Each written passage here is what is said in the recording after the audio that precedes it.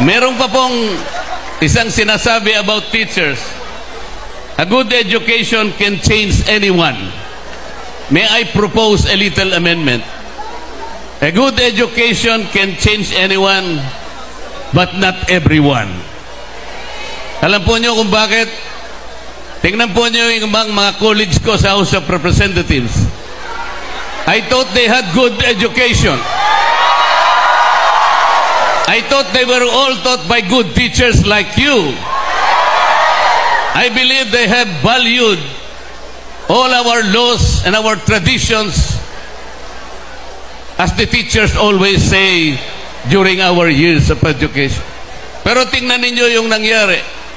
I was only defending our rules in the House of Representatives.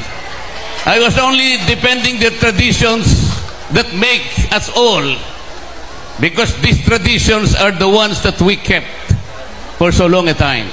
These are time-honored traditions that cannot just be discarded, cannot be erased. The office of the Vice President is not subjected to questions. And that is the well-kept tradition. Eh ano pong gagawin natin?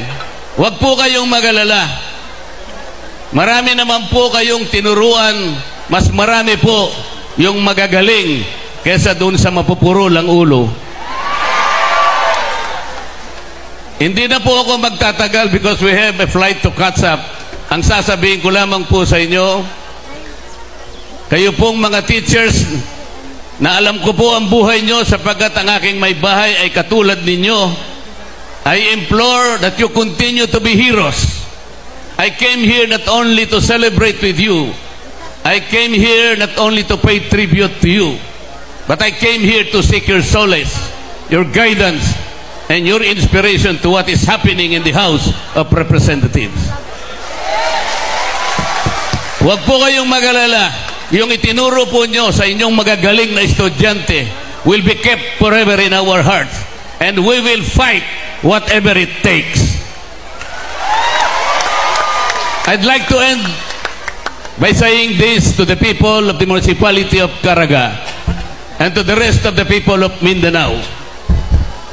Gikan sa akong kasing-kasing, gihigugma ko kamong tanan. Thank you.